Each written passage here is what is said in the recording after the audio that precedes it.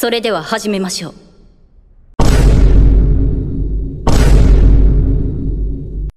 遅れてきたのに偉そうだね。ベルドラの復活を阻止できなかったばかりか、新たな魔王の誕生を許した。そんな無能がよくもまあ。ベルドラが復活したというのはやはり間違い信託は絶対よ。申し訳商人が何か不審な動きをしていなかった。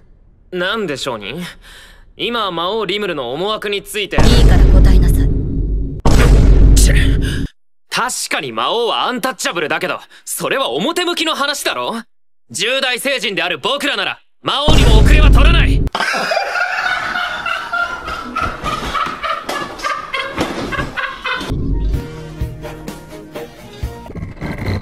相手してやるよ。俺とお前の一騎打ちでな。日向様俺が行きます魔王の野望を打ち砕いてご覧に入れましょうグレンダ、ケルベロスを利用して悪魔の動きを封じよ。ああ、任せな。野宿する場合は10キロ地点ごとにある水飲み場を利用することキロってなんだ？そういいから聞きなさい。思ってたよりマソの濃度が低いなああやはりベルダラの復活は狂言だったのか。日向様の潔白はこのレナードが証明してみせましょう。これより包囲作戦を開始する。各部隊は指定の位置へ参回せよ。おいいいかお前ら。私が優しく言っているうちにさっさと軍門に下れ。バカめ一度攻撃を防いだくらいで優位に立ったつもりか！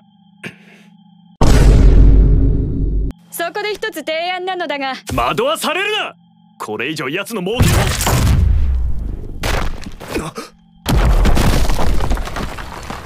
人の話を聞かぬ耳など必要あるまい。貴様！よせギャルド。これ以上奴を刺激するな全滅するぞ。バカが！ホーリーナイトに敗北は許されぬ！そんなことすら忘れよったか！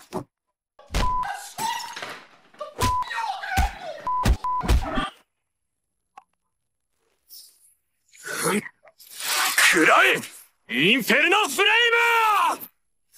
族なし！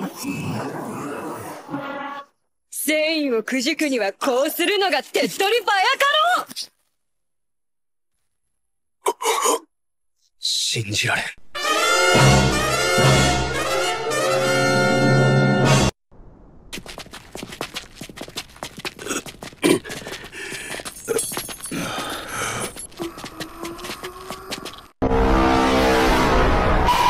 逃げたか金で雇われたデーモンハンターたちねま捨て石にでもなってもらおうじゃないの？ふーん。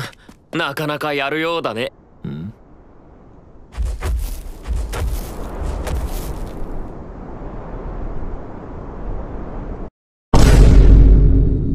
あなたは逃げないのですか？逃げる？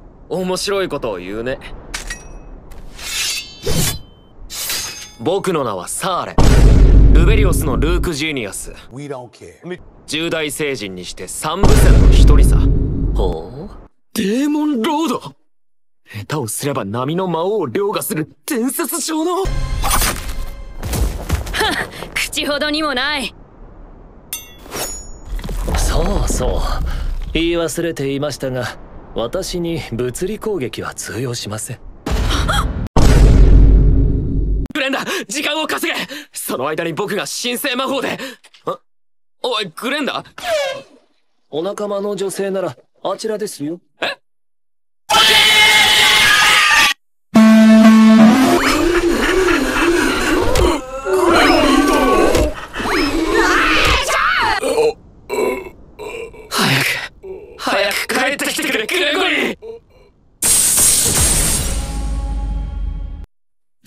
僕一人じゃこいつには。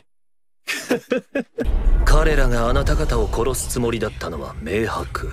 そうは思いませんか？ソーエ様はとても紳士的でした。